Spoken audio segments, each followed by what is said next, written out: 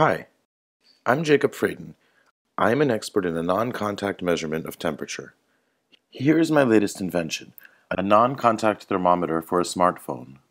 It can instantly measure temperature of any object, but also it can be used as a medical thermometer. As you can see, the infrared sensing module is attached to the backside of the phone case. But my plan is to build the module inside the case. The sensing case can then be adapted for any model of a smartphone. After the project is complete, you will need just to slide the case over your phone and voila, you will have a thermometer. Here's what you can do with it.